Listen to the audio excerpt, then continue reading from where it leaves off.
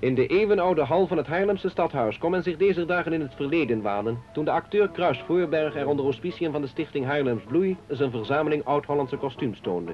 Hier is eerst een ochtendtoilet, zoals dat aan het einde van de 18e eeuw in Friesland gedragen werd. Dit kostuum werd omstreeks dezelfde tijd gedragen door rijke Zaanse dochters. Het mandje is gemaakt van walvisbaleinen.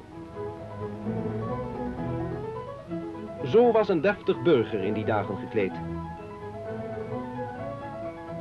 Het kleine staartje achter het hoofd werd schorseneeltje genoemd. Een adellijk meisje met de kinderjuf.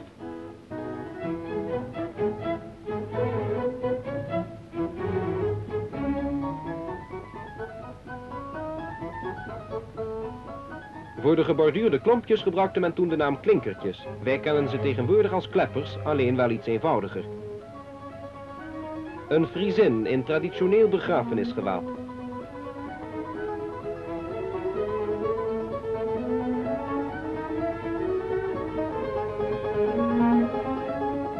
En tenslotte een dracht uit Zeeuws-Vlaanderen.